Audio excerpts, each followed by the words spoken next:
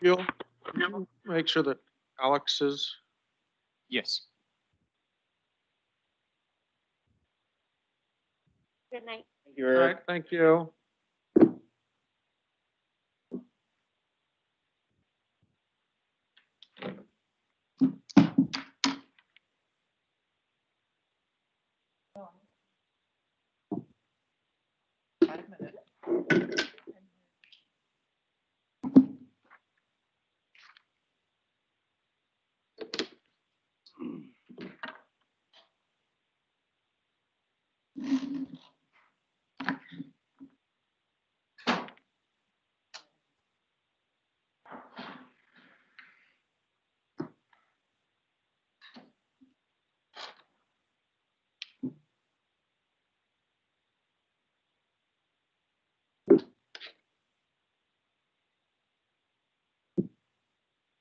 Are we good?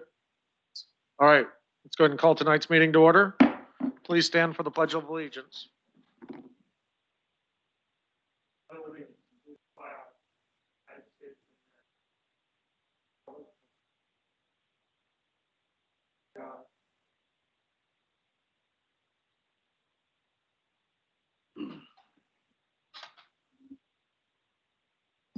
All right.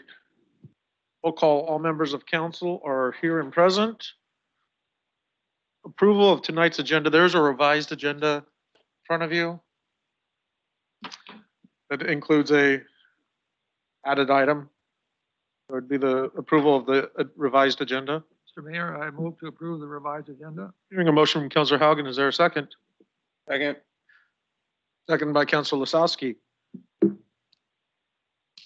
All those in, fa- all those in favor state by saying aye. Aye. Opposed? Motion carries.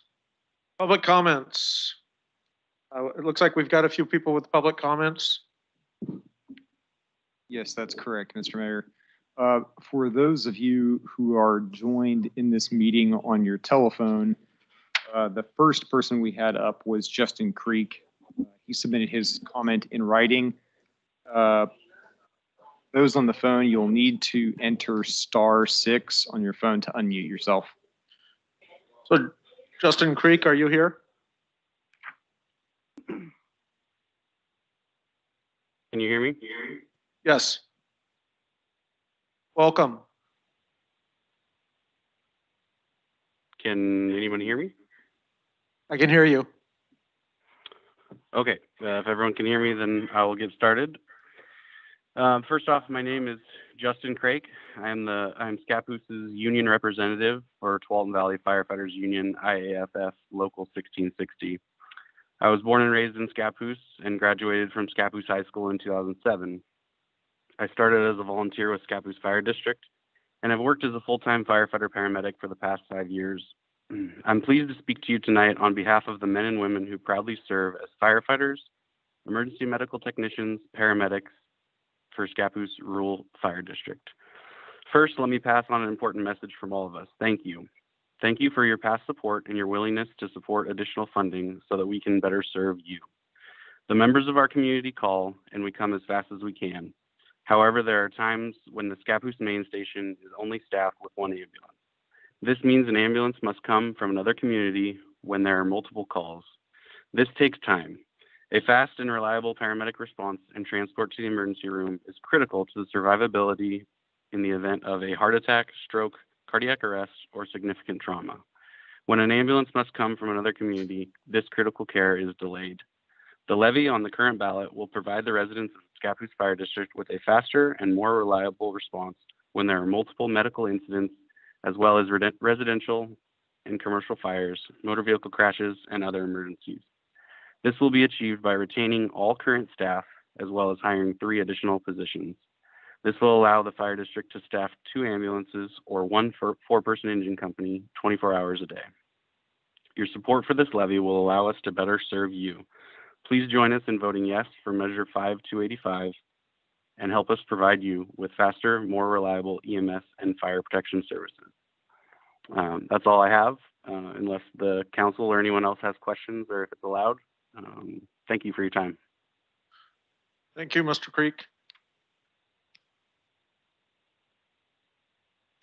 The next person is Mr. McSweet, I believe that is Carol Sweet. Uh, oh, Carol Sweet.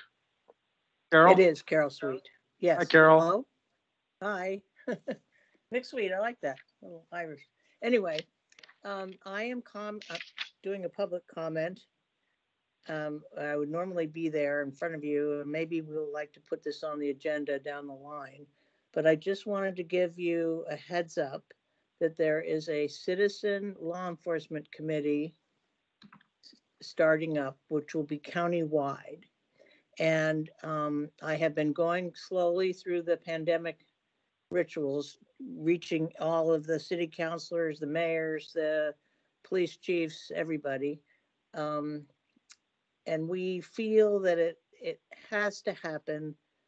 Um, it is not going to be like we're telling the police what to do, but it's more of a committee where citizens can come to get information from law enforcement and law enforcement can get information from us.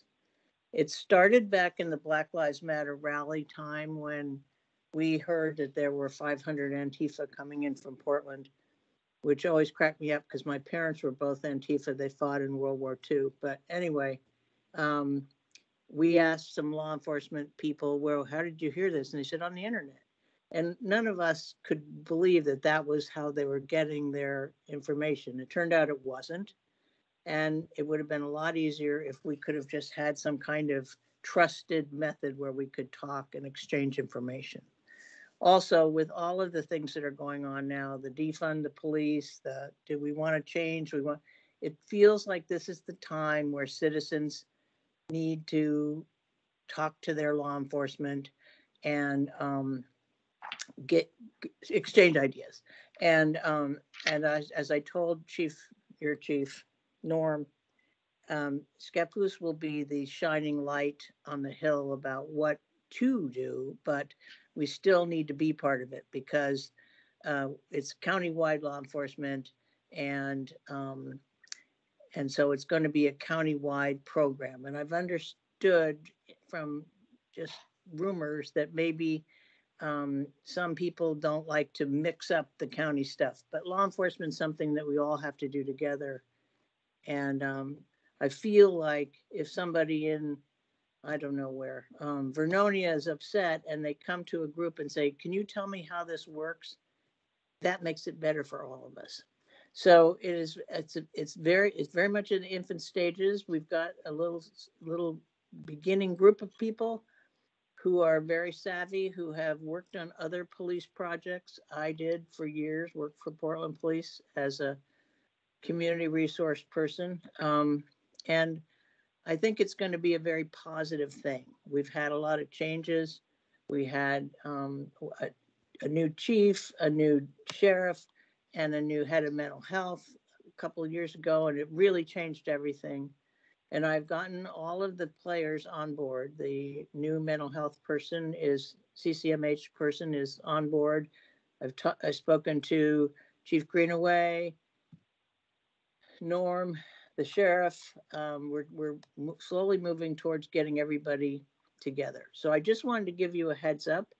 If you have any drastic reasons why you think this could never work, I'm more than happy to come before you and we can discuss it. Um, or you can give me the, the okay to go ahead and start putting it together and I'll be back to tell you where we are. I know I only had three minutes. It's hard for me to do three minutes of anything. Thank you very much, Carol. Thank you. Okay, All right. We'll go ahead and move forward to Marissa Jacobs.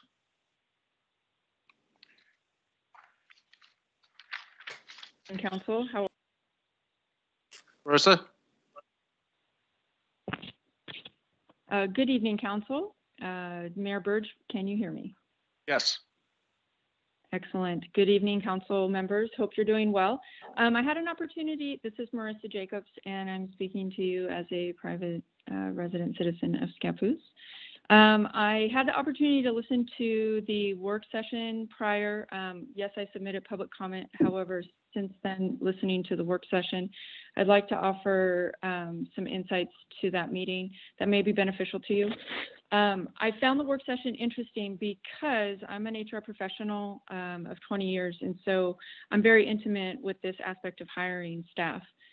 So I found it really interesting that the consulting firm uh, mentioned that they did a community survey. Um, as you know, I'm fairly connected into the co- community surveys, happenings, whatnots, at least I try to be.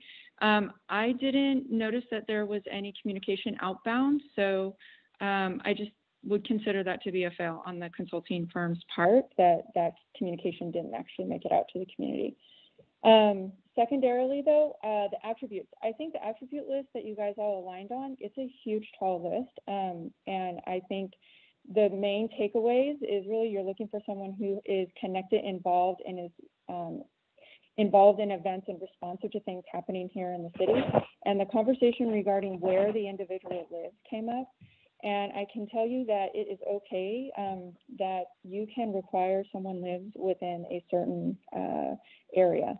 Um, for example, I work for a uh, currently a corporate company, and first off, we're doing all the hiring over Zoom. Um, it's very rare to do any in-person hiring right now, given the COVID situation.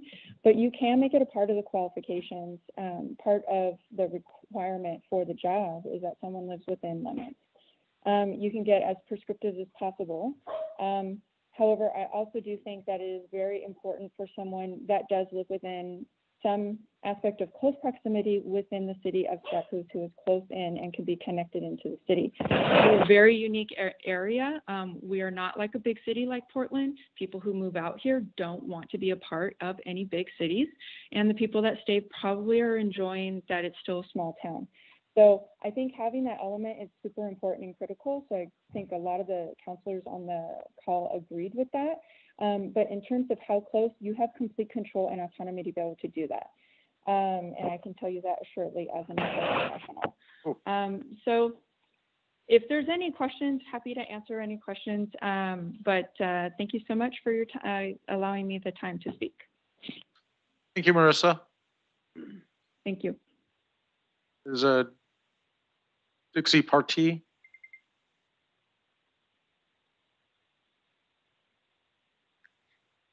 Dixie, if you're on the line right now, you are currently muted. Please press star six to unmute yourself on your phone.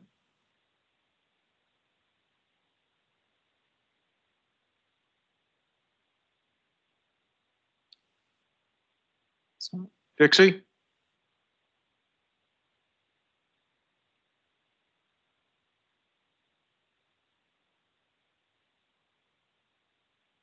So you weren't sure if she wanted to read hers or if she was just putting it in? That's correct. Okay, so I will make the assumption that she was just wanting to have hers in the record. You all have a copy of her email. Let's go ahead and move forward to new business. The first item is Mayor? just, what?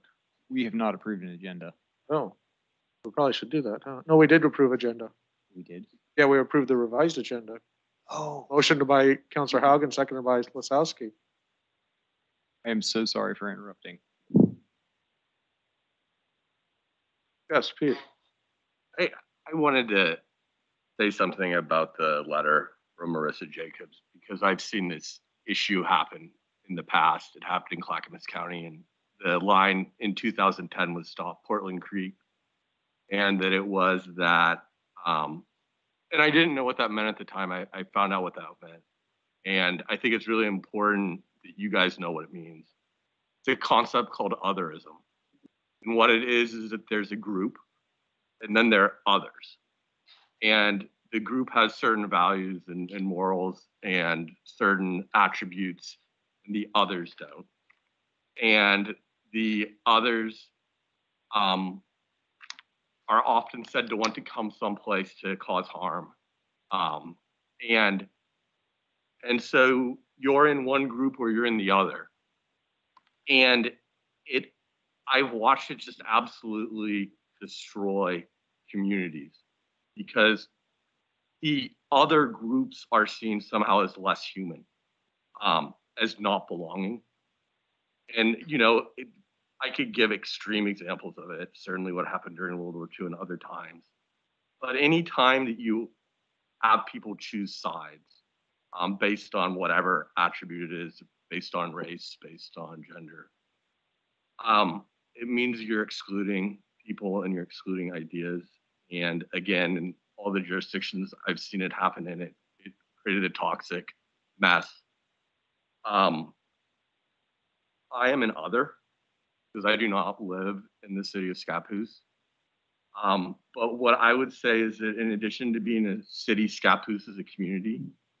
Michael Sykes doesn't live in Scappoose, but he's part of the Scappoose community. Patrick Hesse doesn't live in Scappoose, but he's part of the community. If you care about Scappoose, and I think it's kind of offensive to read in a letter that um, Alex Rains or someone like me wouldn't, because I do care a lot about you and I want you to be successful. And um, I just hope that at least everyone has both eyes open and that we, because during times of great stress, whether- it's a pandemic or whether it's cities going through rapid growth or you're having to sprint, then if you if you go down this road of there's this group that's good and there's this group that's bad and some people's ideas have less worth or they shouldn't be trusted for whatever reason it just it breaks like the whole the whole system like people lose trust in each other and instead of working together and working towards understanding they um they don't trust each other and they they don't believe each other and and decisions that should be easy become very hard. And that's normally i only give you advice on legal risk. Normally i wouldn't say anything but i have seen this otherism of the us versus them be so destructive communities that i had to tell you what is happening here because this is the second week in a row where we have this sort of language that we do not need another out of town worker bringing in their big city ideas. We're not a big city and people living here don't want to be a big city. We're not a big city, we're Scappoose. The vision, the values aren't my vision or values or Alex's vision and values, they're your vision and values. Or the policymakers. Our job is to execute, execute your policy. And of course you love Scappoose. You wouldn't be serving as an unpaid mayor and unpaid city councilors if you didn't. Like you're all here to bring positive change about, and we are here to help you do that. Um, and so I might be an other, but I care about this community and I want you to be successful. Thank you. Very well said. Peter, you are not another. I- No, just to follow up on that real quick. You know, when I moved here in nineteen seventy-seven, I can guarantee you that we would have been a much bigger other had we had California plates and not Wyoming plates. But we were still new to the community. I always look back on that and I always think about that when people, we need to stop people from moving out here. You know, it's getting too big or this, we don't need people from Portland, and I always start asking the question, well, what year do you want the cutoff to be? I mean, you know, what year are they too new? Or, or do we just welcome people with open arms and integrate them into the community and accept their ideas for what they are? You know, if they're, whoever it is, if they have a good idea and they get the support of the community, it- that's how representative government works. Democracy, you know, you, sometimes it might be a crackhead idea at the beginning, but you have one person with an idea that starts as one person, years later, oh, that is a good idea. Based on changing environment of what's going on. So you don't know what's going to change between now, five, ten years. And I think we try to always welcome people. I know there's some staff that don't live in the community. There's some staff that lived here for decades and then moved out of the community, but still work here. Whole variety of they're very dedicated to this community. And they're very dedicated to doing the job and putting, implementing the goals that I think was important is that this council puts forward. So, and they do the best they can and they try to do it as transparently and as honestly as they can. And, you know, everyone makes mistakes or falls short here and there. But we don't castigate them for that. We try to help them up and make them better. So that's my thoughts on that. Anyways, why don't we move forward to the new business? Um, I added the one item.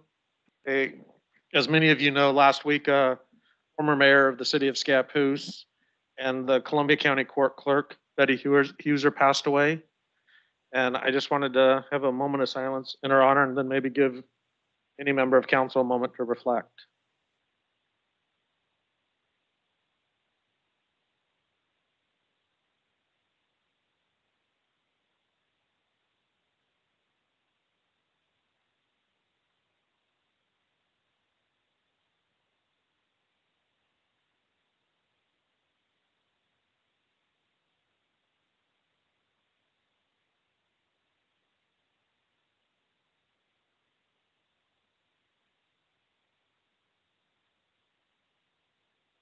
All right.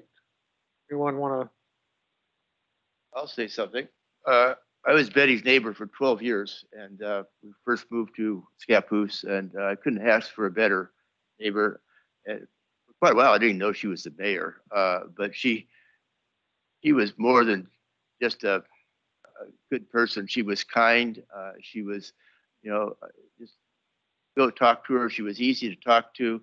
Uh, my son Matt, uh, to cut her grass for her, and, and he always did a better job cutting her grass than he did ours. Uh, but it was just uh, such a good relationship with her, and seems like whatever things came up, uh, she was there to help, and uh, just like a neighbor should be. So uh, I saw her more as a uh, as a neighbor and a a friend than as uh, as, as the mayor or county clerk or whatever. But you know, she she she lived her life right and she walked the talk and uh, she was a very, very honorable person.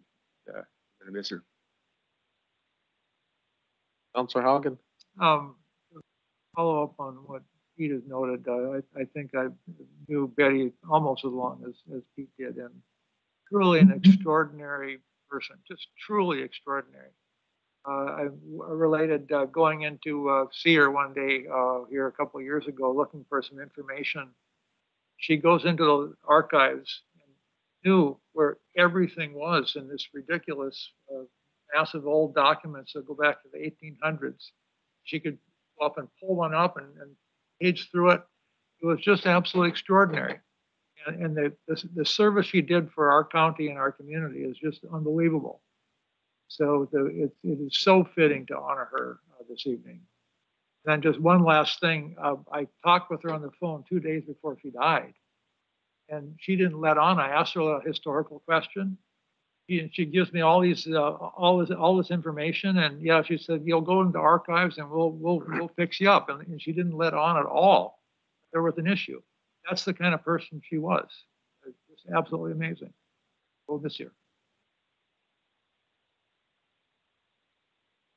So for me, you know, she was the mayor of this town for ten years.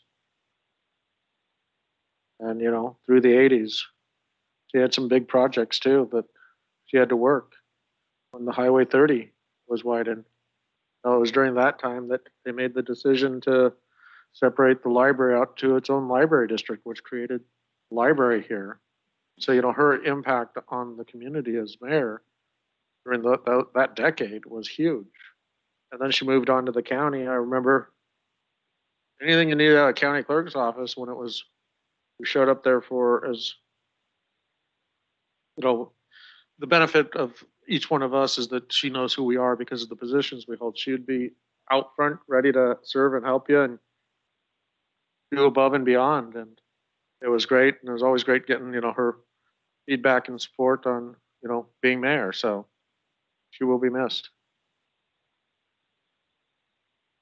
just real quick, I, you know, for me, I've known Betty for a long time since I was a little kid.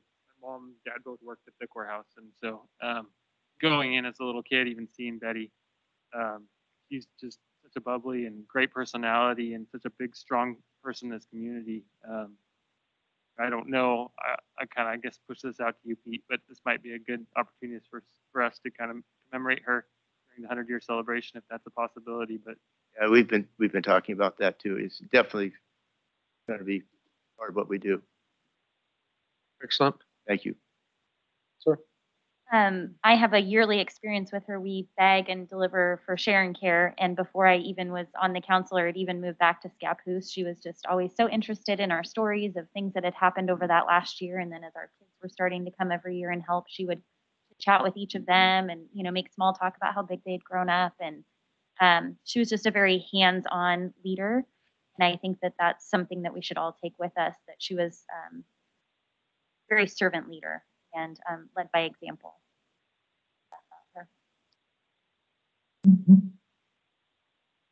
Mayor. Sir? Um, obviously, I think for those that have been in this community for a while, we do know the impact and service that that he had provided uh, to not just Scappoose, but to our county as a, as a whole. Um, I did have the honor of being sworn in uh, by Betty, and I, I do remember that, and that will be something that I get a hold uh, for the rest of my life. And um, I do feel as though if there are other ways that we can honor her service to our community moving forward, I would ask that we keep her name at the top of those lists in a way to enshrine the service that she provided. And my heart and condolences goes out, goes out to the family.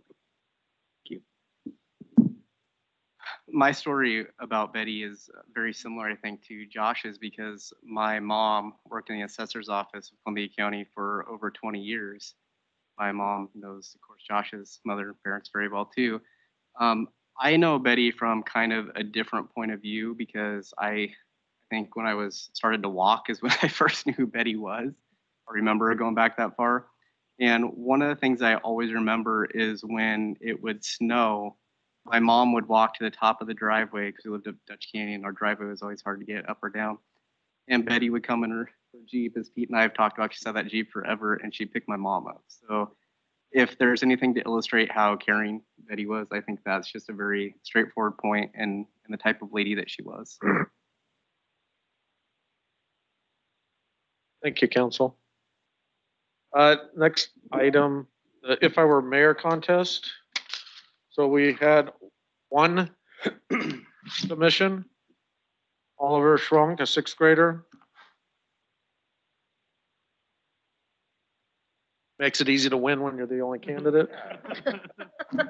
He also did a good job. Yeah, good for them. Did a very good job. Yeah, I know. Can I just give him the position? No, I'm just kidding. Um, why don't we just do a, a simple and just, uh, if I can get a motion to declare him the winner of if I were mayor contest in a second, and then we'll move forward with his award in the future. Mr. Mayor, Counselor Miller. you have something very similar with our, uh, if I was mayor candidate. Both run opposed. Yes. Well, this last time, I've had, ca- I've had opponents. Okay, this last. Mr. Mayor, Counselor Lesowske. I move the council um, award Oliver Shrunk, uh, if I were mayor contest uh, award recipient.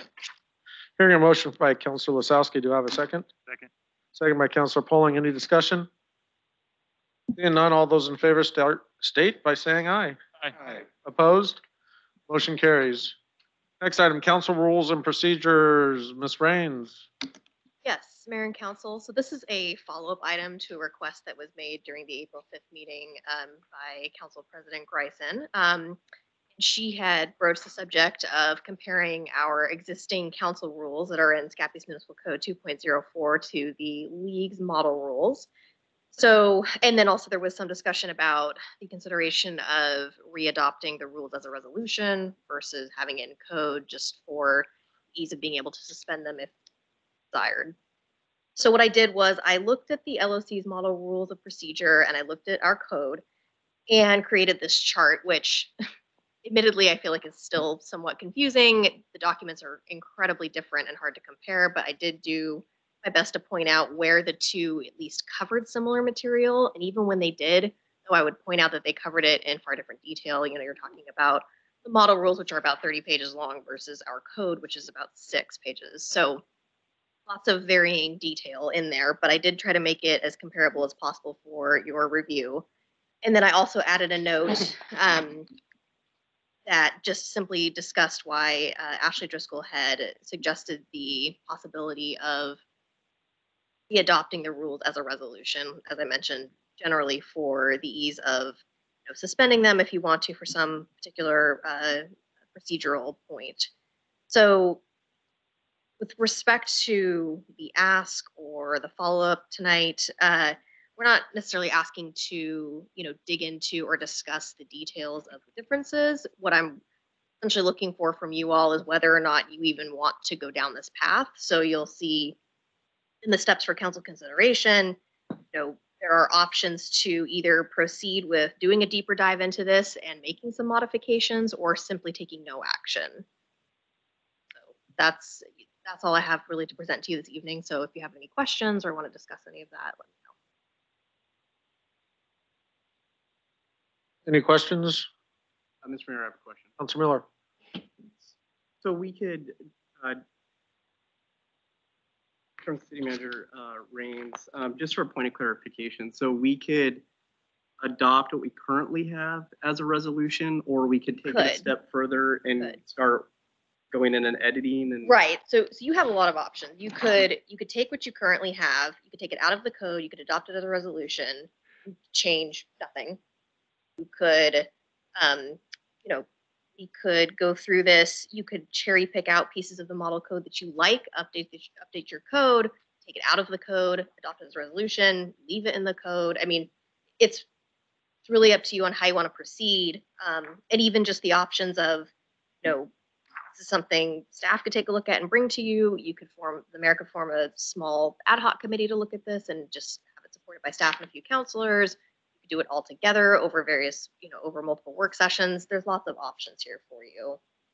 Okay, Thank you. Um, I do have a, just kind of a follow-up, um, commentary on this. So this, this is here because it came as a question from one of the city councilors. And then, um, Ashley Driscoll had, had given some commentary on it, but I looked back at the minutes from that April fifth meeting and, and Ashley said that she, you know, didn't really understand if there were any issues or didn't spend as much time with us as, say, um, Peter does, Peter Sherry mean, if Peter has had time to review this, I would be interested in what, from a, especially from a legal perspective too, and having observed counsel, know, because he's here at every council meeting too, if we could get his input on this. Sure. I mean, I, I think it does make sense for you to update your council rules. And there, the, the section that gives me the most heartburn is which the section same is? section that gave Andy Jordan the most heartburn, which is two point zero four point one six zero, which is that personnel section that has a subcommittee. And, um, when that was used in the past, it created some financial liability for the city. Um, and it, that is a, it is completely unique to, to your city. Um, there's kind of a lack of clarity as to whether that's a, um, public meeting or not, because, I mean, it's just, it's kind of a, a weird process and, and I think it also creates some confusion as to who has final say on, on matters. So I think there are a lot of reasons why it probably makes sense to revisit that and have that discussion. As far as the, um, model rules go, I am not, I don't like the model rules. Um, and I, I particularly knowing kind of your style, don't think that they make sense for you. They're incredibly prescriptive and very formal. Whereas a lot of times you guys want something put on the agenda, you know, um, closer, closer to it. It, it has individual counselors sponsoring ordinances and things of that nature that practically speaking, just be incredibly time consuming, I think, for staff to try and track that down. Not to mention that if you're figuring out who's sponsoring ordinances, kind of signaling prior to the meeting who voting, and it kind of looks like a debate. And, and so that's always something that's given me heartburn. There are portions of it that I, they're just simply not correct. Like if you look at the chapter four of the land use hearings, so it says that the proceeding shall be de novo and shall be held on the record. And, and the problem with that is those are two different standards. So a de novo hearing would be when you open it up to all the evidence. On the record is when there's a, you can do de novo hearing as a council. On the record is when it's the record in front of the planning commission and there, people can't make additional arguments. Um, and then there's a on the record plus if you guys want information on a certain thing. I mean, those are your three options, but there's sections of this, particularly in the land use, where it's simply not how you legally, I mean, on the record means one thing, de novo means another thing. You can't do them both. Um, uh, the other thing too is that I like to frame things in a positive manner. And so I've, I've, I've worked with a, I've worked with jurisdictions as small as a Harney County Soil and Water Conservation District and as large as Clark County, Washington. So I've seen a lot. And if you frame things in a positive, I think it creates that, that people believe that the expectation will be that they behave in that manner. So if you say, if you have a rule that says you won't um, use profanity or yell at each other, you're like kind of putting it out there that one outcome is using profanity to yell at each other. Is if you say we have a culture of mutual respect where we respect each other and, and their ideas and can disagree without being disagreeable. And that, in my mind, you're setting the expectation of positive, good behavior. And, and I like to do that. And I've only had one city want to do censures, and it was Damascus. And it was, it's like, unfortunately, they decided not to do it. But um, kind of like a kangaroo court where where counselors are suddenly standing in judgment of other counselors and and are um you know and I I actually looked through the state statute, state constitution. The only instance of censure in Oregon is there is a for a judge. There is a process for a judge under certain bad behavior. But I just I view that as a real negative. Um, I don't think that that's the sort of culture that I've seen here. I've seen a council that, you know, particularly iterations of this council that really respect each other and each other's ideas and are able to work through issues, hopefully. Um, and unless we see some really, really bad behavior, I can't imagine that you guys would want to kind of stand in judgment of each other as a almost a quasi judicial body. Um, so those are, I, think if we were to use something like the model rules, we would want to go through really carefully and and make sure they weren't process oriented that added a lot of time for staff and also make sure that they really kind of reflected who the city is and the positive like we can do it together spirit that has been part of the city Counselor Haugen? Uh, to, to Peter's point, you know, I, I'm of the mind that you, you don't make things more complicated than you need to. And, and to me, uh, adopting the League of Oregon Cities rules, and, you know, and I respect the Oregon League of Oregon Cities very much. I, I really do. Adopting those rules that makes our life a lot more complicated, and I don't see a, a rationale for that. Uh, if we maybe the resolution approach to uh, chapter 2.04 does make sense if that facilitates changes like uh, 2.04160 personnel. So if that makes sense, yeah, let's do it. But let's let's not kind of throw the baby out with the bath bathwater. Uh, that would be my sense. If you want to change or leave it in the as an ordinance and change it, we can still do that. The making it a resolution just makes it easier to suspend it if for some reason you wanted to suspend any of those rules. The other point I'd make too is that, you know, using the League of, you know, the LOC's model rules of procedure was more of a comparison to or jumping off point. I don't think the suggestion is that we just adopt theirs. I think the idea was that we look at what pieces work for us, if this is even something that you all want to do, and make adjustments to your existing code. I don't think there, I don't think the thought was that we just simply toss out what we have and adopt something new. I think it was just to look at what's out there and see if there's anything new we want to incorporate. But again, we don't, we don't have to make any changes. And if you want to make it a resolution versus an ordinance, we can do that. We can still make changes to the ordinance. It's just a, it's just a more complicated process. So to follow up, Peter, if, if we change it over to a resolution, does- does that facilitate making the changes? Yeah we can i mean whatever you guys want we can do.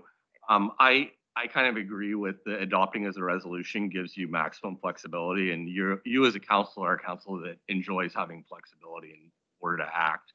So that that makes sense to me.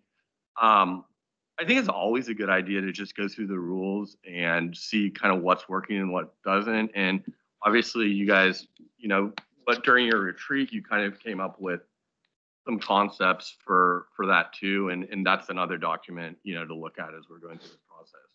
As I said, like the in my mind, the question really is, does it work for all of you? And are all of you willing to agree to them? And if as long as is the answer to both of those questions are yes, um, then you know it's it's what works for you. There's some minimum components that we want to have in there, but um, we do have a lot of flexibility because you have home rule.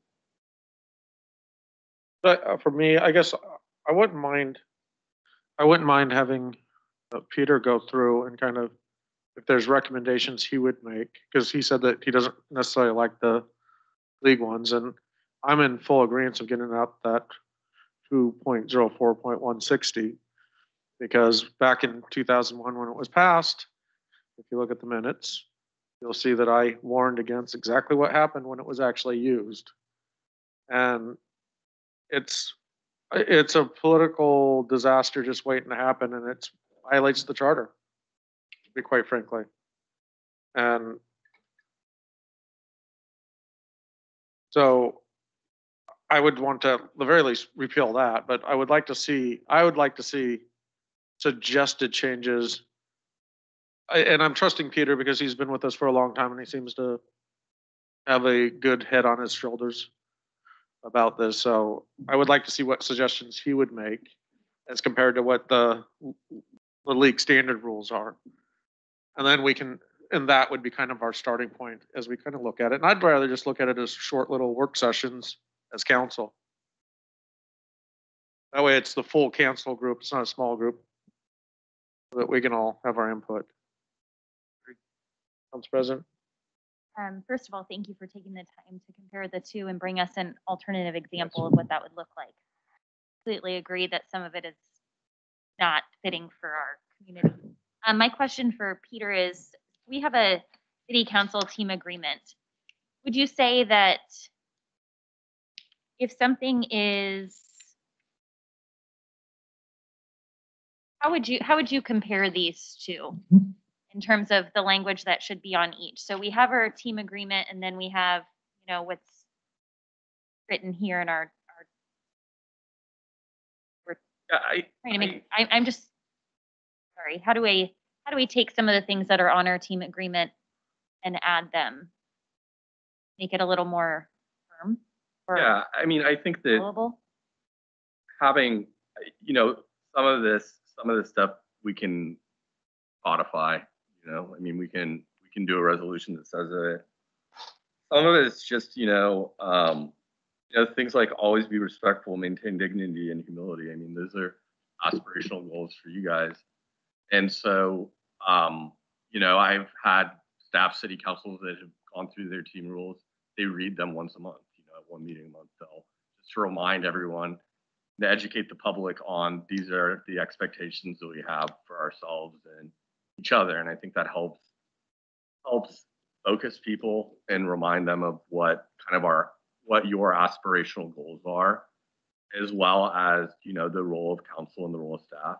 Um, those are very different, and sometimes people don't understand that.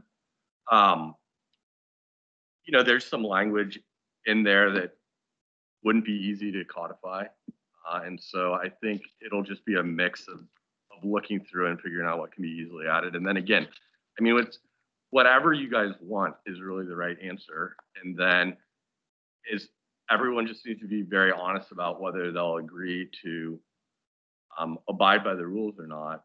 And if if there are rules that bother you, I mean, the most important thing is to have the conversation um, so that people understand each other's perspective and why they believe and understand what they understand. And as as long as that honest conversation happens, I I've seen, you know, I've just seen nothing but positive come out of these sort of team agreements.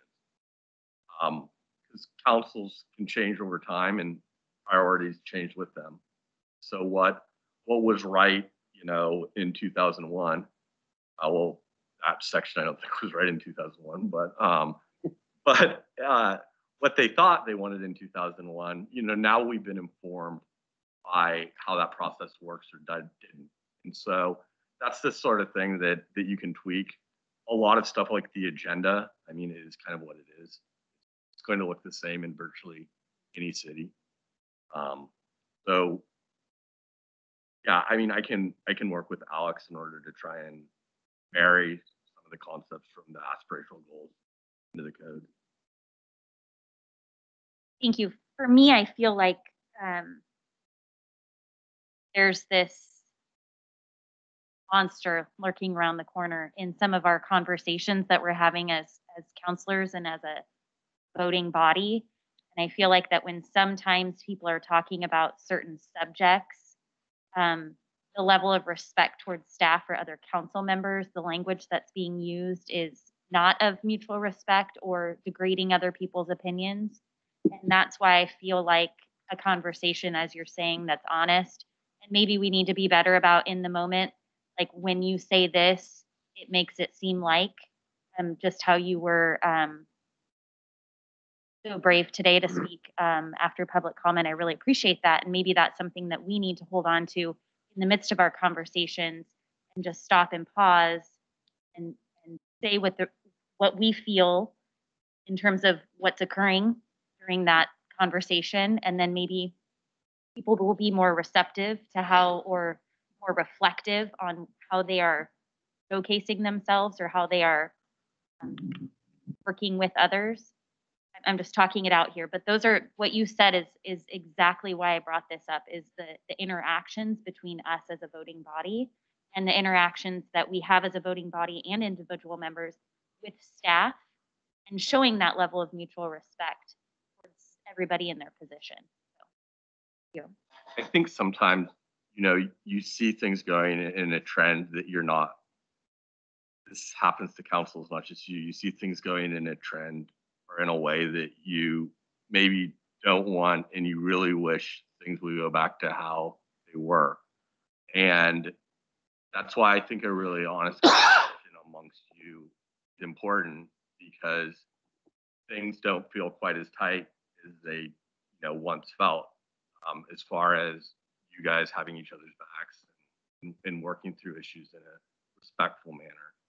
Um, and I just think that, you know, as, as city attorney, I always view the role of a city attorney as advising on legal risk. And the, my number one gripe with other city attorneys is when I feel like they're pushing policy or telling people they have to do something instead of simply saying, your answer is the right answer as long as you understand the risks associated with the actions. Maybe I need to speak out more if I see something, um, because maybe that's what is needed in this moment. Um, and yeah, I mean, I, I'm really proud of you guys. And when people ask me about Scappoose, I say Scappoose punches substantially above its weight. And I think that part of it is just acknowledging that for a city your size with the budget and resources that you have, you guys have done really great things. And that it's been a while since it's been kind of a, a dumpster fire, which is when I first arrived. That's how I would describe it, is mayor remembers. Um, but Oh, yeah, I remember. so it's been really inspiring to see watches like the cities come together and as you as a council have come together because other councils were less supportive of each other.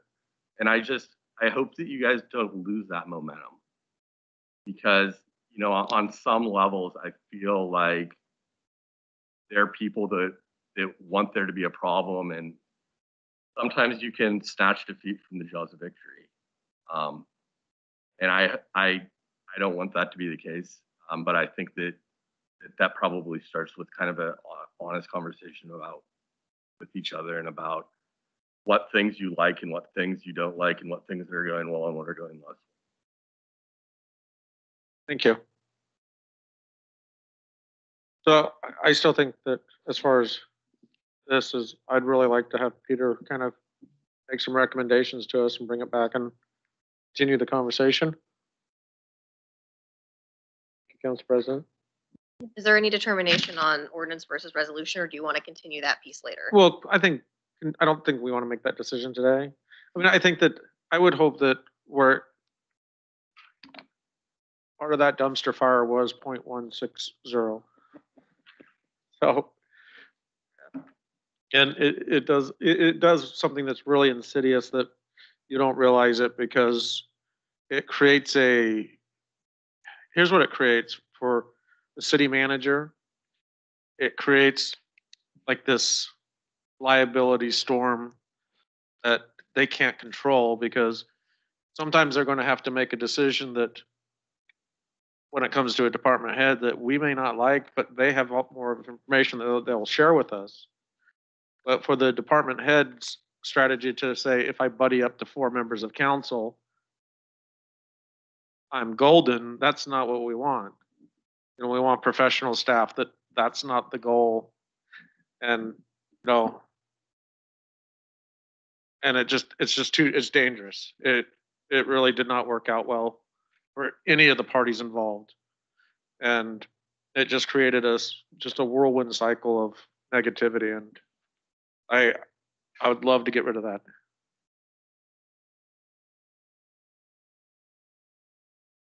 Yeah, Peter and I will, will work on that and we'll bring it back to you during work session.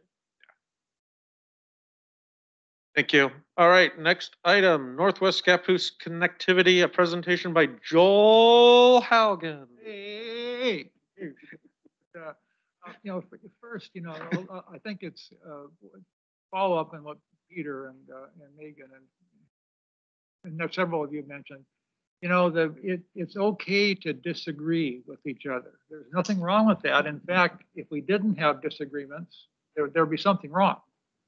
I mean, uh, I'm sure you and your spouses disagree on stuff and you resolve it, you come to common ground and, and you move on. And, and, and I think that's, know, we, if we have that mutual respect and, and we can respect other people's positions on any issue, uh, revolt. And, uh, and, and that's, I feel is, is, is so essential. Um, and Bill, can I comment on that? I'm gonna be agreeing with you hundred percent on this. You know, I think that one of the things we get afraid of is we see what's happening in our world today where people's idea that if they disagree with you, they have to hate you. You know, and I've been involved in politics for, since I was in college. And I was the head of one of the major parties' college organizations statewide, but we would have booths and argue policy. This is where I learned it, argue policy. But you know what? We were all friends. And we went and had beers afterwards. I've seen Joel and I have argued. We don't, I don't take anything, as long as it's not personal attacks that people are doing. If you're just, we're just talking about the policy.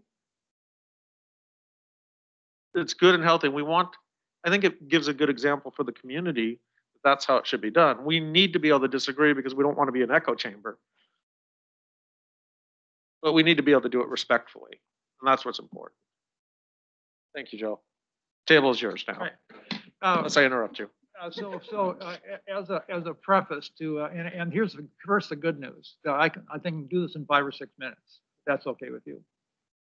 Um, the, uh, you, you all know that I feel strongly about the, uh, the Grabhorn Park, and I've made that abundantly clear. And I've disagreed with Peter and, and probably everybody else in here about this. And you and I have had heated arguments over this.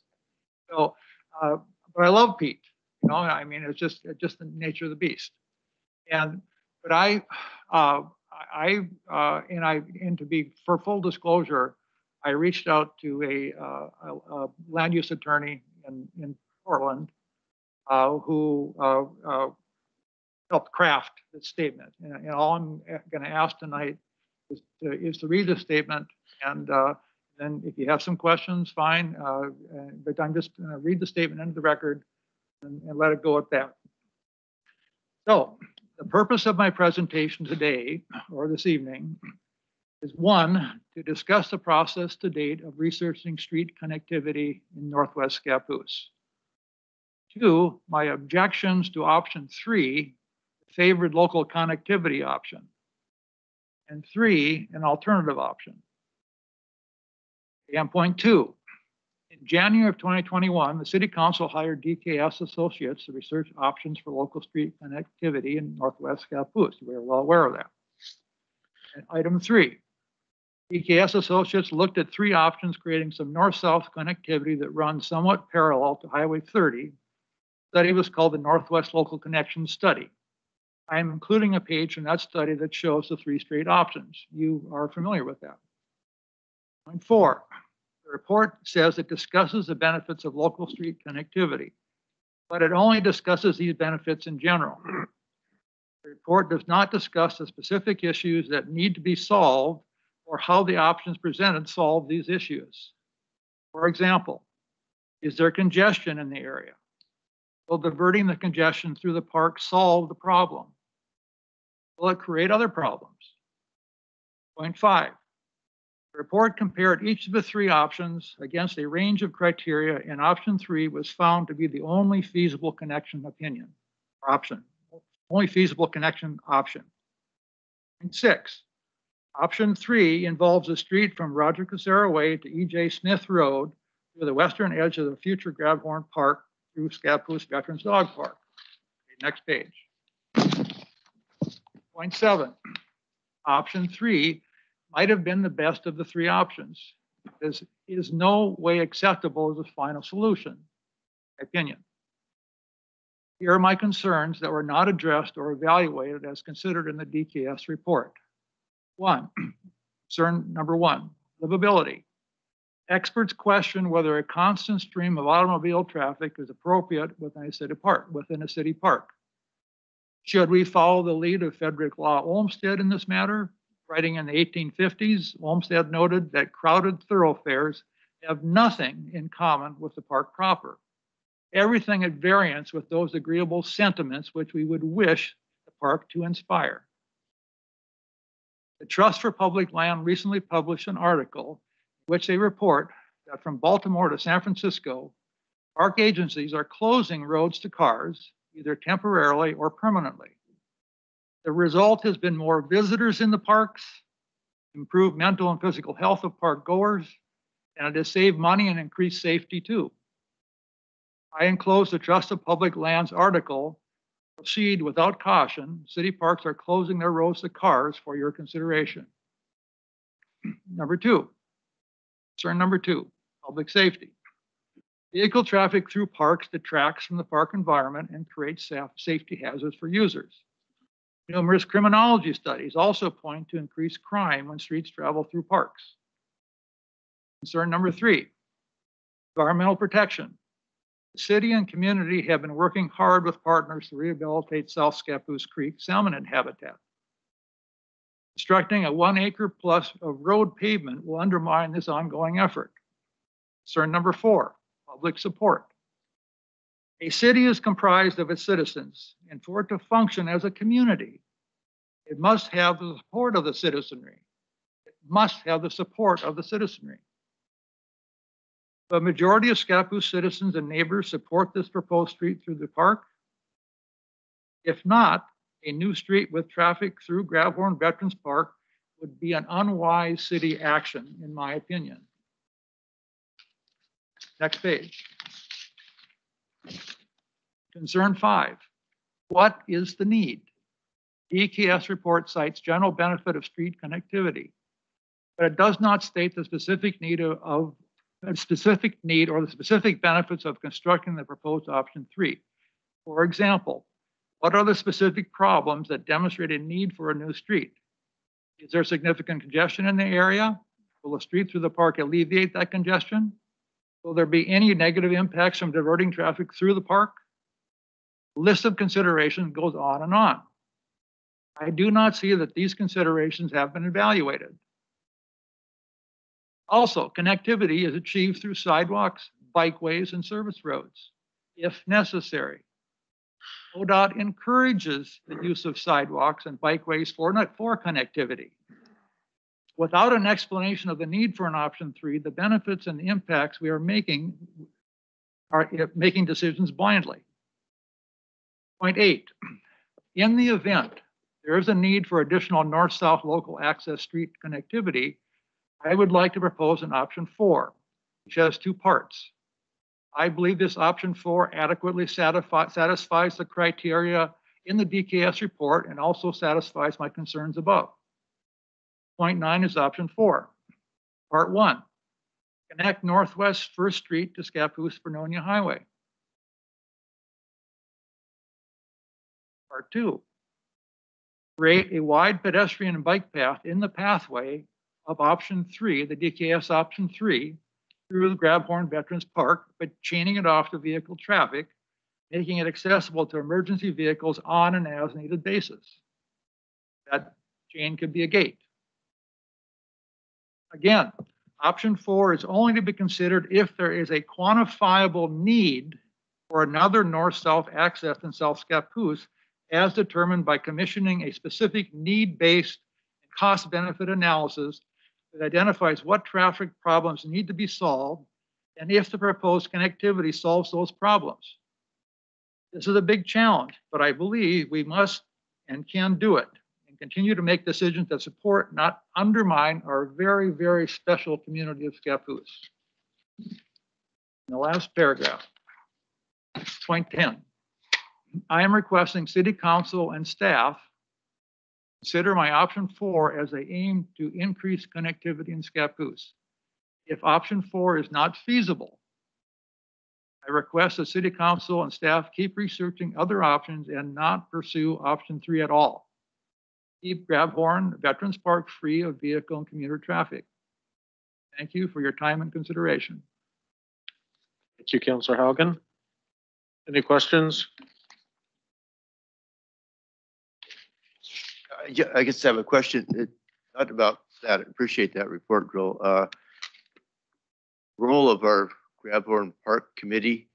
uh, I mean, the real issue, is do we run the road through or not? You know, we can talk about a whole bunch of stuff, but that's the real issue. And uh, is that something that's part of, I would assume that's part of their responsibility is to take a look at that? Is that correct?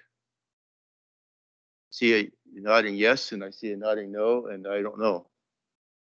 Uh, Huell? Yeah, if, if I may, uh, the Grabhorn Park Ad Hoc Committee, it does have the latitude to suggest whatever recommendations they so choose to the city council, so long as they provide recommendations to council at, at the end of their duration. Okay. So they could address that issue then if they chose to. If they so choose, yes. It's not part of their ass- assignment, then it's what we're. Right, it's- their, their entire, uh, responsibility is to provide city council with two recommendations. Okay, And, and that's going to be up to the committee as a, as a group, how they decide to move forward. okay, right, okay. Counselor Poling? I, you know, definitely, you know, I think look forward to the Grabhorn, you know, the committee on what they recommend. I think though, you know, we also are looking at this road as a separate um, right? Because it's, it's not just about necessarily the park. I think that's what the city's kind of made a recommendation is it, it's not just about the park. Um, what, what is, you know, the, the recommendation of the park will be based on, you know, needs of the community for the park itself. I think, you know, we need to make sure that we kind of, yeah, keep those together, but also make, also have all the information that we need in order to decide whether we need that road or we don't need that road. As a, as a totally separate from the park in, in, in that aspect. which is, I think, is the point I, I just articulated. And, uh, and you know, and the bottom line for me, and I've expressed this earlier, if the community, uh, wants a road, and, and we can afford the road, we should build it. But if the community is vehemently opposed to it, we've got a problem. That's what I'm, what I'm trying to convey here is, is, as forcefully and politely as I can. The- second part of my question is, I keep hearing we can afford to build the road, and I, that's the case, I'm, I, I'm glad. But my, I've been told otherwise, and uh, that we can't, we don't have the money to build the road without taking money from sidewalks and some other resources that we have planned to do. I- Am I correct there, or uh, is this, we had the money to build the road if we chose to do it, and uh, this committee gave us permission or whatever? We have the money to build the road without taking away from sidewalks and other projects? We Yeah, do, This, this project is on our list for system Correct. development charges. So yes, there- so yes, there is plenty, money for this particular road. So Wouldn't take away, okay. There's going to be a driveway that's going to need to be mm. built so that people can access Grabhorn Park. And then there's a driveway in the other part that goes through it. So the cost of connecting the two, we're talking about a relatively small amount of space that the, um, that would need to be, um, improved and that would, sidewalks that would be required on that road would be built using those same funds. Well, the other thing is too, is that, you know, if the property to the west develops, what, what the city would likely do is set up an advanced finance reimbursement district on that particular portion of the road so that if and when that develops and they tie in, then we're reimbursed for the part of the road that they're using. So it's not, it wouldn't delay the third place sidewalks going in, uh, to Grant Law School? Not the third place. Well, I mean, so, and this is just to make sure it's clear. The funds in the system development fee area can be used on any listed project that increases capacity, which means any new sidewalk that's being built, we could, in theory, use system development fee charges or the monies in that fund. So you could make the argument that and this isn't, I'm not taking a side on it, I'm just saying that you could make this argument that by using system development fee money for that road at this time, you're prioritizing that road over sidewalks. And it's more, it's because the money's there. It's like the money's in your bank account for something, you then prioritize it, but you know, what would be saying is that this connection is more important than that sidewalk. But that sidewalk is, my understanding, is being paid for mostly with the additional three cent gas tax money. Well, we're a ways away from Correct. that. Well. I mean, at this point, the, the conversation that was had with, when, you know, the public works director was here. was- Should the mic, please. sorry, um, when the public works director was here was that, you know, Old Portland Road would be completed first. Um, it was the least expensive option and we could complete the infill of sidewalks on that third place in buying because they weren't funded with the Safe Routes to School grant. They're just gonna take a little bit longer to do. But again, yes, that, the idea was that the recent gas tax funds would cover those. Um, right now, I think we're getting about two hundred and fifty thousand a year off of that, which is a little bit less than what we had hoped for, but if that's just the impacts of the pandemic and less people driving. Your trans, transportation master plan, it only contemplates that, um, that the system development charges pay for half the sidewalks. So it lists certain sidewalks, certain sidewalks are eligible for those funds, and then fifty percent of the cost of those sidewalks can be paid for using the system development charges the other half of it have to be covered using either state or local gas tax dollars Or grant. Some other dollars. or grants. Yeah. Counselor Miller. So can I just frame this in a way that I can kind of understand? So we don't like have a line item budget that's budgeted for that road. We just have basically a fund that we can use money from to develop that road. Correct. Yes.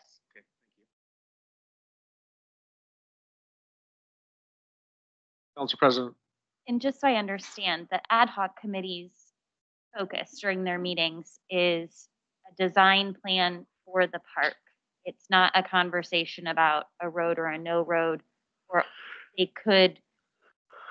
I- I mean, I'm just, I'm just double checking or wanting to make sure I understand that the ad hoc committee's focus purely for us, helping us decide on a plan of development for the park in terms of amenities and access and, um, but if they do propose, if they do give us options, one has roads or some don't or whatever, that, that's just part of their, their scope is not a discussion on road or not road.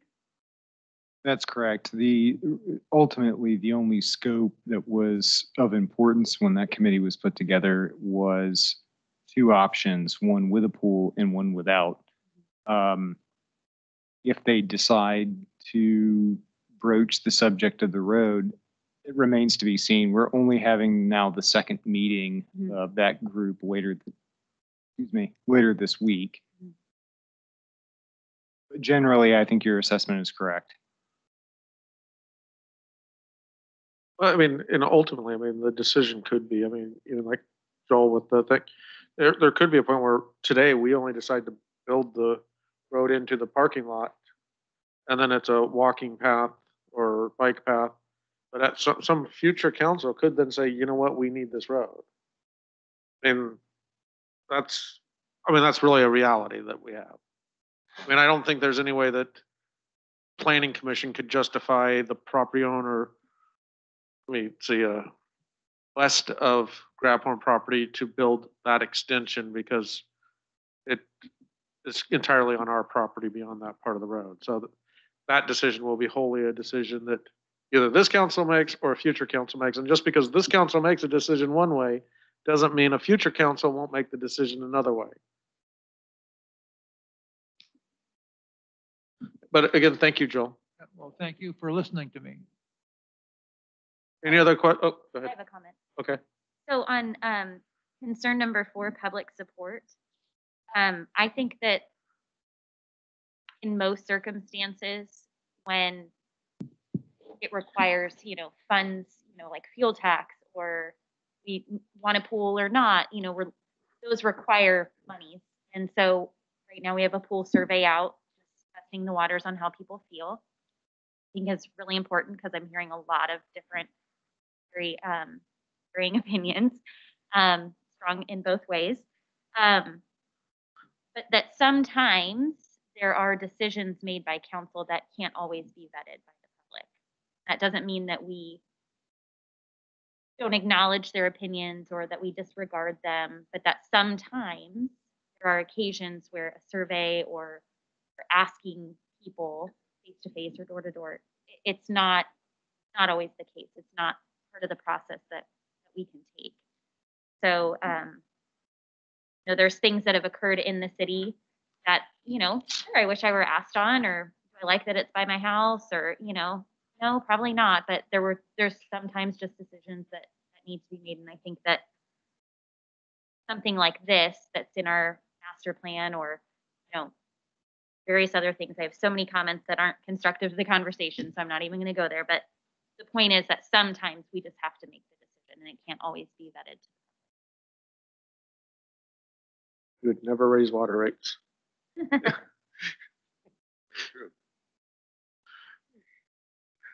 But thank you again, Jill. Thank you very much. All right, why don't we go ahead and move forward? Calendar check. Our next council meeting is on Monday, May seventeenth, work session at six o'clock, city council meeting at seven o'clock. Every Wednesday at six thirty PM, there's an ad hoc hundred year celebration committee meeting. Uh, This Thursday at six PM, we have a Grabhorn Park ad hoc committee meeting. The thirteenth, the planning commission meeting at seven o'clock. The twentieth, uh, Scappoose Parks and Rec Committee meeting at five fifty PM and a Grabhorn Parks and Ad hoc Committee meeting at six PM. Alex, do you have anything? Yes, uh, Mayor and Council, I just wanted to let you all know that the pool survey, as you all know, is out. Um, it's been online since about mid-March and will be in the newsletter twice. It's also on the app. And that'll close around June third. And do you have an update on how many responses we have? I, last time I checked with Isaac, which was on Thursday, we had received just over 200 responses. Um, about half of those had come in electronically, uh, the other half in, in their paper format. Based on the other surveys we've done in the past, uh, once we reach the 350 responses, that's really good. That's a quick question in regards to that. How do we ensure that it's um, one survey per resident? Great question. Um, so there's one uh, option uh, that that's possible. So so everybody who submits one electronically, right? It you, you know on our end we see the IP address that it was submitted from, right? So and for those of you that don't know, an IP address is like your internet connection's physical address. Um, so it just is an indicator, right? If if if we received 30 surveys from the same IP address, that would be highly questionable. Um, again, you can't account for every, you know, someone misusing uh, or, or trying to skew the results of, of, of a survey. Um, I do know on, on, as a question on the survey, we asked, do you live in city limits? And we have gotten a, a, you know, not significant, not insignificant uh, percentage of the surveys have come back from outside of city limits uh, um, respondees. Thank you for that, Huell. I just wanted to make sure that there was a mechanism in place for us to at least be able to understand how those responses were being provided. So I appreciate the explanation. Thank you. Um, and uh, I'm sure, obviously, you're all aware that the county's moved back into the extremist category, unfortunately. Um, and then finally, uh, I just I know that I had spoken already with Joel and Pete, but uh, Travel Oregon did not award us uh, the grant for the mural project. They said that they received over 400 applications and 18.5 million dollars in funding requests, and only had about a million to distribute. Mm-hmm. So didn't go our way. Oh, we got one anyways, the skate park. Yeah. Did yes, Super great. it's great. So that is a good point. Anyway, that's all I had. Thank you. Chief Miller, you have anything?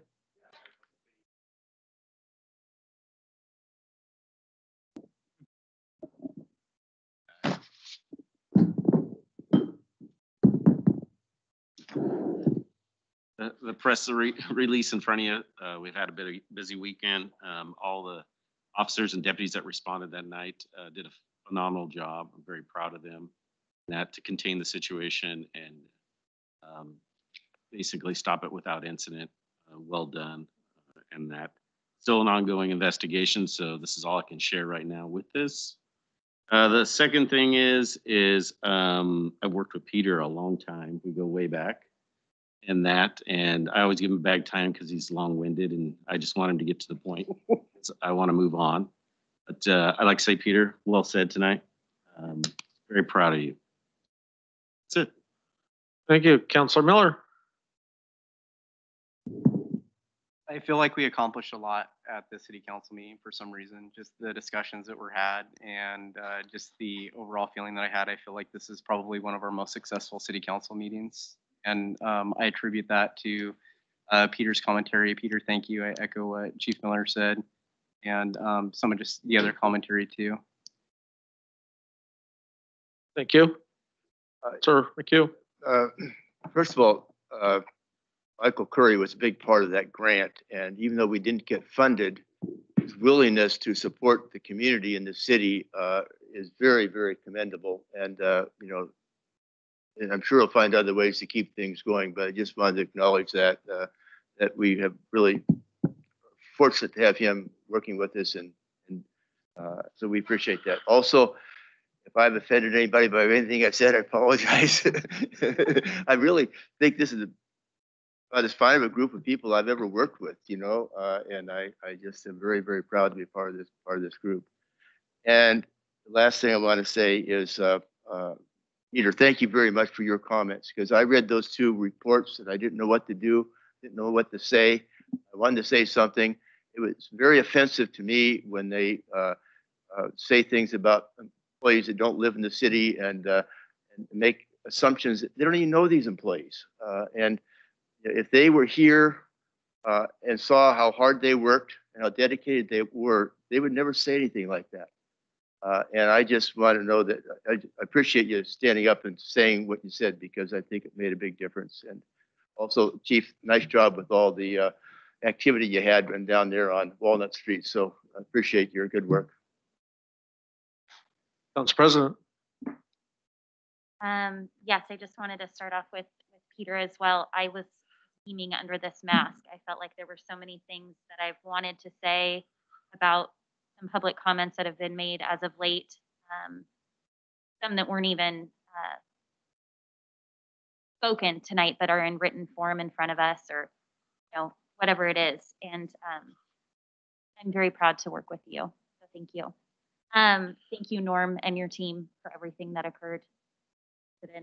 Um, I just want to encourage the public that wherever you stand with the pool, please um, share your thoughts and fill out the survey. It's just really important feedback for us.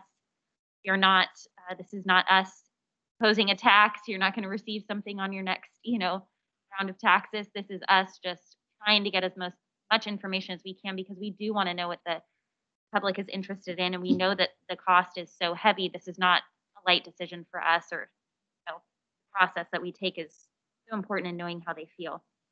And then the last thing, um, I have a letter and a little gift. Speaking on behalf of the Grant Watts Parent Organization, and they would like to thank the counselors for their generous and meaningful contribution to the Scappoose Sprouts Learning Garden this year through the Community Enhancement Program. We were honored and overjoyed to be the recipients of these funds last summer. And since receiving that Community Enhancement Program funds, they've been able to successfully build an incredible outdoor mobile classroom at Grant Watts Elementary. Space is wonderfully complete with a large learning cabinet loaded with supplies and six sturdy outdoor rolling tables that will stand the test of time with little hands. Space accommodates a classroom of students who are excited to learn outside. This much needed space offers students an opportunity to enjoy fresh air, explore life sciences, and safely learn in a creative space. This space became even more important as students returned to school wearing masks. Further, this space is the launching point for the larger garden area, is in motion for this year. Every dollar that you contributed meant the world to us for our students as well as the community.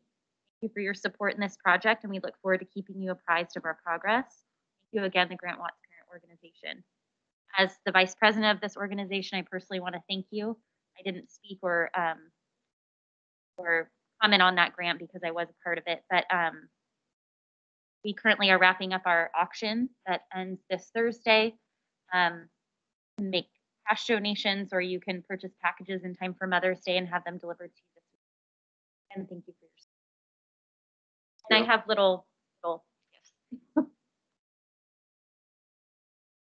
Thank you. Counselor Haugen, Um, well, I'm. uh, don't talk unless you've got gifts. Go, go, go, go, no, where are the gifts? Where are the gifts? I, uh, I- want to just comment briefly on, on, on, on Peter's assertion at the beginning. You know, there is no way that, that, that any in here, in this room, or it's us against them or them against us. So We just don't think that way. And Scappoose is such a welcoming community. And, uh, but I think we also have to be careful, we don't misconstru- misconstrue, uh, uh, concepts or, or, or verbiage that comes through sometimes they get, you know, uh, citizens that don't really feel that way comes across the wrong way. So I, I think we have to be careful that we don't misconstrue what sometimes uh, people say. Uh, and sometimes maybe what you and I say, uh, it can be misconstrued. So we have to be careful going down that road. Um, enough said on that. How about we uh, think about the, our sphere, our arts, artistic sphere that we haven't mounted yet? We have a, uh, this is gonna be a 20, uh, 2021 activity uh, as a Betty, Betty Huser commemorative. I like that. Uh, And uh, that, that, you know, is our first, our art piece in, in, in- in Betty since of what a, what, what a perfect uh, uh, memory for her, you know, we, so uh, I, I, I really love that concept. Um, And then uh, the triptych art piece, uh, you know, I don't want to give up on that. Uh, and- uh, so we've got Michael Curry working on the design. Um, We could conceivably uh, uh, have them submit or have someone submit a uh, $5,000 CEP grant. And, and maybe we could have some alternative ways of funding that because what a, what a neat commemoration for, our- for, our- for our century uh, is to have that past, present, and future. So let's, let's really kind of turn up the, uh, the thought gears on this and how we might uh, bring this to pass because we don't have to do all the bells and whistles. So instead of setting, instead of spending 35, maybe we can get by with 18 uh, don't, we put the lighting off until, five years from now. Uh, but let's not give up on this because, you know, we've put a lot, a lot of work and energy and sweat into this centennial. And man, what a nice feature, a permanent uh, mural of past, present, and future on the, on the side of uh, Norm's wall. I think it would be just so cool for the, for the August uh, celebration. So let's, let's keep our, our, our teeth chewing in on this. All right, thank you. Thank you. Mr. Mayor. Yes. I, I know it was a brief phone call about this grant opportunity, but I I don't know about other counselors. I'm not aware of the ins and outs and the details of this project. I don't know if there's a time that could be presented to us or what this looks like. I'm, I'm just, I, I'm, I'm in support and I would all for going for the grant. I'm just not quite sure the ins and outs of the project or what the scope is or what the goal is and how we can support that. So if there's a, an opportunity or a time to Well, I, I present think, that to I us. think the idea is that Mi- Michael was going to present that to council. Oh, Um, and so, I was gonna say my time, but since you brought it up, that I would like to know what the cost of it would be for us to look at doing it anyways. Yeah, grant would have been great. You know, we got it at the last moment, but why not look at really doing it? And if it's only thirty-five K, I mean, you know, I mean, Jill's gonna cringe, but I mean,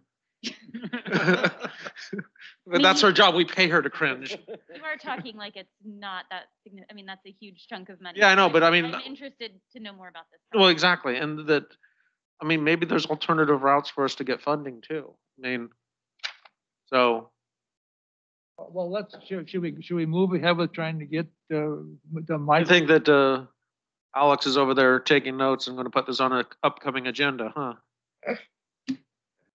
Um, well, we are, uh, at this point, we're pretty far into our budgeting process. So if this is something the coming year that you're actually really wanting to pursue, um, it's not that it's not you know not possible but i do need to go back and we'd have to adjust some things because we do have a draft budget that we're working on ready you know that's ready for basically just for in a couple weeks when we have our, our meeting. So that's not possible but if it's something you really are all interested in we would have to move some stuff around and do it quickly so. Well the the, the CEP announcement is, is that out yet? It is. Yeah. Yes. so what, what's the deadline for that? 24th um, 24th so, yeah, that, but I'd, I'd, do that. yeah, why don't we do that? But I'd like to at least know more about it so that maybe we do say, not tonight, obviously. I, I would like to have more information on that cost threshold, what we can get it done. Maybe we can get some time, labor donations or whatnot to bring that number down. Or maybe you're right, maybe we do the lighting at a later date, but it would be nice to have Well, I move forward anyways. Um, Huell and I had put together a budget for the grant, so we'll just, we'll pull that and we'll look at it. Okay, thank you. Counselor Poling. First, I'd like to uh, echo what the rest of the council said. Uh, Peter, you know, it takes a lot uh, for people to speak up when they get a feeling that they, um, I often am challenged at that point, so I do appreciate that very much. Um, And also, uh, Norm, your team did an amazing job, especially with all the issues we have going on uh, nationwide. Um, I commend you and your team very much so, so. Um, I was not, I was actually on vacation, so I was not able to sign the letter that went uh, out from many counselors and community members in regards to the shutting down of our county. I am in strong uh, support of that letter. I just kind of wanted to make that known. I think that our small businesses are hurting already, restaurants. Um, they need all our support that we can. So if you guys and anybody else in the community can support them, please go out there and support them as much as. Thank you. Counselor Lesowske. Um, yeah, Peter, again, I, I applaud your uh, willingness to stand up and um, share your thoughts with us earlier. Over 30 years ago, um,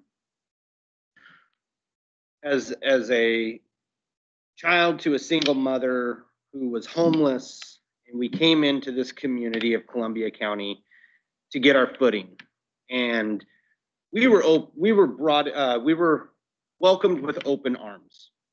We were outsiders of the community, but they quickly uh, provided me with a space uh, to feel as though I was a part of a, a new place. And so I do feel as though our culture is um, to be open and inclusive of our community and our community members. And so again, I say thank you, Peter, for taking the time to share that because I think that those words were very powerful that you shared. Um, Chief, as everyone said, your team did a fantastic job in creating a, a safe community. And uh, we are very proud of that. And I ask that you please let uh, the officers know that we, we truly do appreciate all of their efforts. Um, ballots were sent out. So uh, make sure you get yours and uh, hopefully fill those out and return them uh, before the 18th, I believe, I want to say. And then uh, lastly, yes, the Community Enhancement Program grant applications will be due uh, the 24th of this month. So I do recommend uh, local nonprofit organizations and groups uh, provide an application uh, so that we can help support uh, the local community. And with that, I say thank you. Thank you. Uh, Long couple of weeks. So the first thing we, Columbia County Economic Team had the strategic planning session a week ago Friday at, in Clatskanie.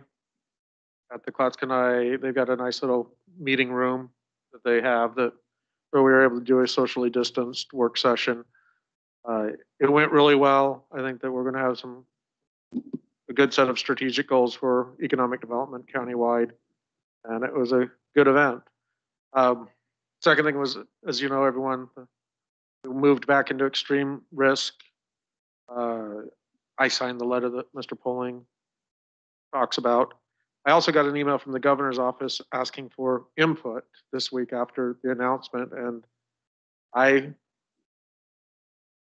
let him know how I felt. It was my opinions. Uh, the first thing, you know, she claimed that she was trying to save lives, and I pointed out that she could have saved more lives by not changing the order of people and making sure that seniors and those with comorbidities got the shot first before politically connected groups. Um, and then I called her out on coming to Scappoose when it wasn't, when she wasn't in line. She wasn't eligible to get the vaccine. She was 60 years old. And even if she does have comorbidities, which I don't know because that's a HIPAA thing, she doesn't qualify. And I know that because I'm in the same age group. I know the day that I became eligible, and she got it a couple weeks before that. So I called her out on that. And I was actually horrified by the response from the governor's office. They, the governor's office responded, she brought her own vaccine with her. And so then I queried, did she bring a vial of the Johnson Johnson vaccine? What happened to the other four doses that come in a single vial of the Johnson and Johnson vaccine? And they responded, we gave it to four seniors in your community. And what bothers me is it's such a unbelievable statement to make to come out of the governor's office that I just, it, you know, I brought up things like the data, what we know today versus what we knew a year ago. The fact that businesses, restaurants have invested in hospital grade air purification systems, ways to make sure that the airflow works in their thing. These things that we know reduces the ability of the virus to rep, you know, to transmit. You know, hundreds of these places have garage door openings or big windows that can open that create the same flow as if you're outside. Yet there was no consideration. It's just shut them all down. And it just, it doesn't make sense. We went through this whole thing, if we all remember back when they were talking about recreational, outdoor recreational spaces, which we really now know, but based on the data that outdoors, you really don't need to wear a mask unless you're within close ordinance with other people that are unvaccinated for a long amount of time.